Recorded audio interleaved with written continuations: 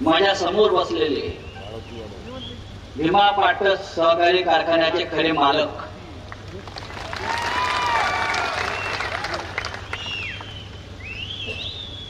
आपणच बाप आहोत त्या कारखान्याचे.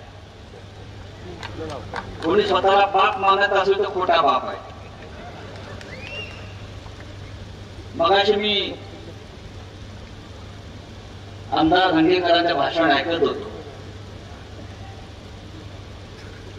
प्रधानमंत्री नरेंद्र मोदी सोडून सगळे लोक कसब्यामध्ये प्रचाराला आले धंगेकरांचा पराभव करण्यासाठी आले.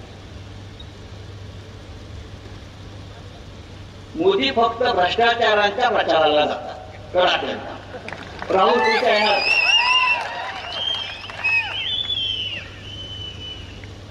जो भ्रष्टाचार करत नाही त्याला भाजपात स्थानच नाही.